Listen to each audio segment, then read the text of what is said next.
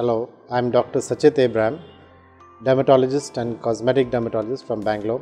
I practice at um, Care in Bangalore and also I'm the head of the department of dermatology at Manipal Hospital, Bangalore.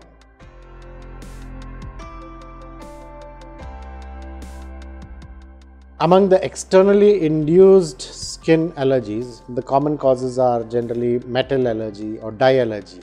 These can be proved by doing a test called patch test. Put a patch on the back uh, which has around 25 to 30 common allergens in India and the patch is kept on for 48 to 72 hours. The patch is removed after 72 hours and readings are taken whereby we can, we can identify what are the external contact allergens that the person is allergic to. But there are around 5000 uh, causes for allergy. It is difficult to identify and pinpoint the exact cause for each and every allergen, but common allergens can be identified and then food allergies usually manifest as hives and urticaria.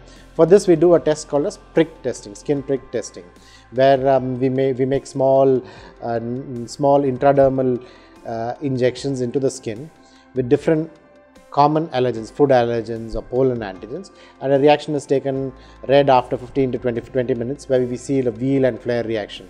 Severe um, allergies may cause big wheal and flare reactions. These are the common types of tests that we do to identify allergic reactions.